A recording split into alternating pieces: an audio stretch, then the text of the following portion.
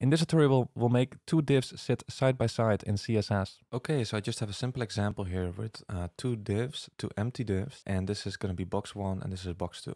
Right, so box one is this one with the orange background and the other one has a green background. So now let's say we want to make them sit side by side, right? Because this is the default layout. These are so-called block level elements, right? A div is a block level element, meaning it takes up the entire width, right? So it sort of kicks out the other element. Well, the other element is actually also a block level element, so it's also going to take up the entire width, right? So what you get is sort of a vertical flow, right? But now we want to make them sit horizontally side by side. And actually the best way to do that today is with flexbox. So we could use the body element as a parent element because you need to get you need to have a flex container or maybe you just have a parent element that you created yourself.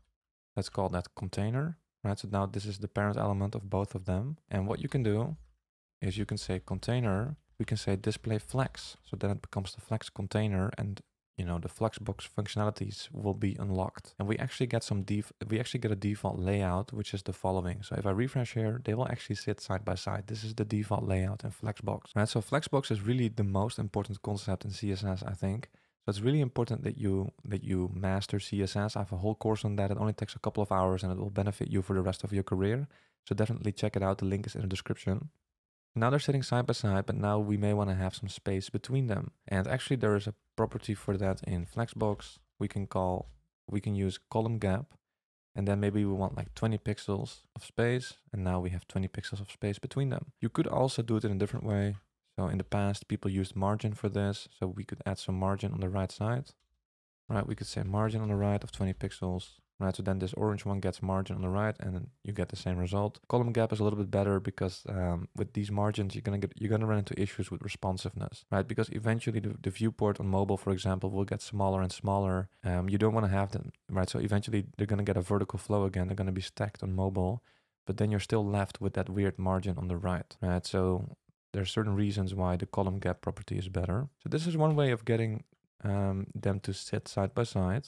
Let's actually remove that. There is another way. We can also make them, um, right? I just said that they are block level elements, meaning their display property is set to block.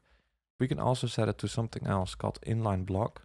And the name already says it, they will sit inline. There's, they still, they still have certain block level um, features, but now they will sit in the same line, right? And actually they will get some default space as well, right? So this is the second technique. Another technique is a bit old school with floats, right? You, you probably shouldn't be using floats today anymore. We have Flexbox.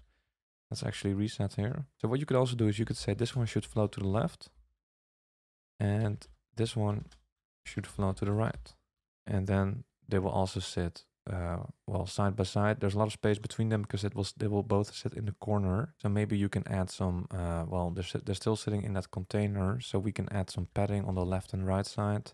So zero on top and bottom and then let's say 100 pixels on left and right side to sort of push them closer to each other. Right you can play around with that. Probably best to just use flexbox. So make sure you learn flexbox. It's completely covered in my course. Only takes a couple hours and you'll walk away with much more clarity on css by the way, if this was helpful, I'd really appreciate it if you could like and subscribe. Also, check out my courses on CSS and JavaScript if you want to take those skills to an advanced level. Because in there, we will build some beautiful real world projects from scratch so you can see how everything fits together and really master CSS or JavaScript. And I will also release other courses soon like React and Node.js. So if you want to be notified, then make sure you are subscribed to the email newsletter. You can find the link in the description. Thanks for watching and I hope to see you soon.